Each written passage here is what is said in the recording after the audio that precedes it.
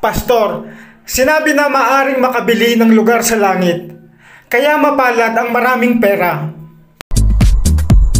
Buhay mo, buhay nyo! Andito yan sa Drama Natin To TV. Subscribe na mga kadrama. Bago tayo magpatuloy sa ating inihandang topic, i-shoutout muna natin ang ating mga kadrama.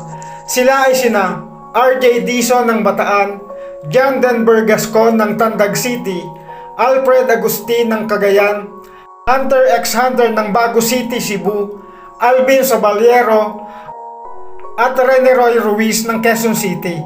Maraming maraming salamat sa patuloy ninyong pagsuporta. At ngayon, dumako na tayo sa ating inihandang topic. Sa ating panahon, iba't iba ang pangkati ng relihiyon at lahat sila ay nagsasabing totoo ito at para sa Diyos.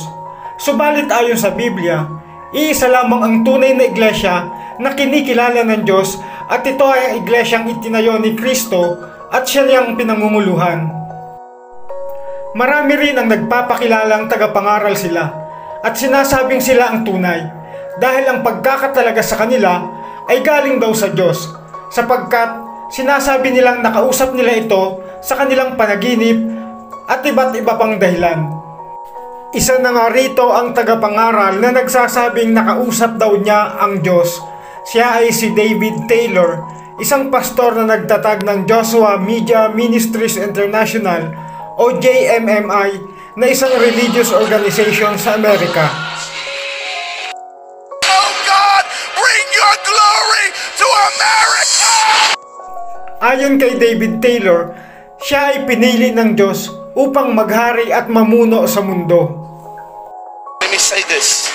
He came to me in 2005. I was asleep, and he came and got me in my sleep, took me high up in the air in the atmosphere of America. Marami siyang napaniwala at sumampalataya sa kanyang mga pagtuturo tungkol sa Diyos.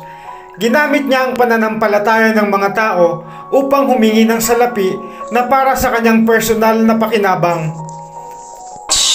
I want you to get your finances out now. I want you to get your credit card out now. We actually need $30 million, $36 million to be exact. Way before December, before November is over. Subalit, paano nga ba niya naeenganyong magbigay sa kanya ng malaking halaga ang mga miyembro ng itinatag niyang religious group? Dahil ayon sa kanya, ay maaaring bayaran ng salapi ang magiging lugar ng isang tao sa langit. I said God has rank in his kingdom. There are people who are the greatest in the kingdom and people who are the least.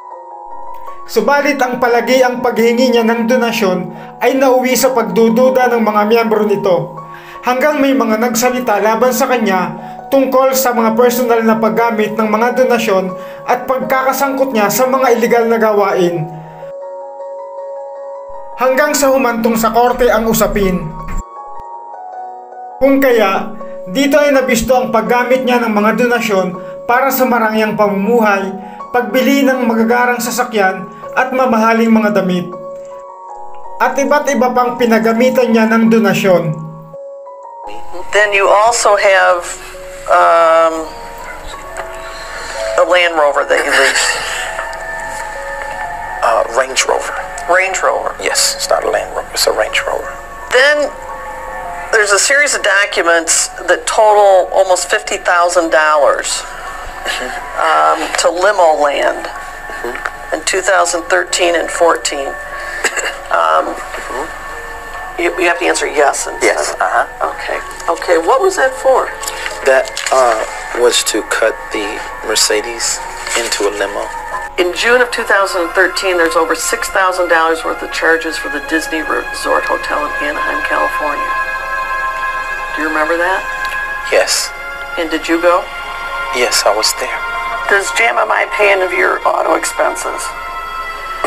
Uh, yes, What about your housing? Does JMMI pay any of that? yes, You get a housing allowance? yes.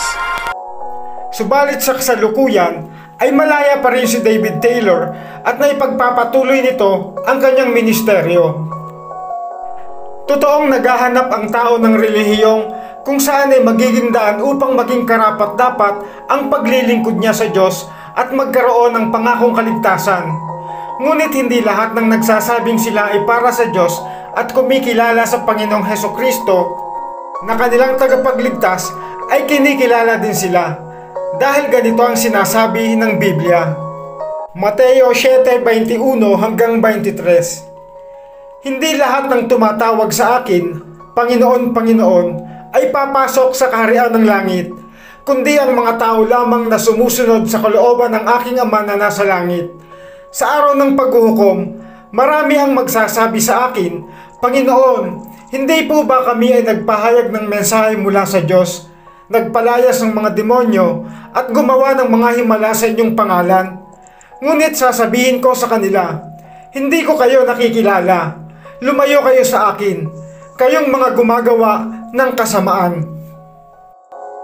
Sapagkat ang totoo, iisa lamang ang relihiyon o iglesyang kinikilala ng Diyos at ito ang dapat aniban ng mga tao. Ito ang iglesyang pinamumunuan ni Yeso Kristo at nagtataglay ng kanyang pangalan ayon sa pahayag ng banal na kasulatan. Hanggang sa muli, magkarinigan muli tayo. Maraming salamat po.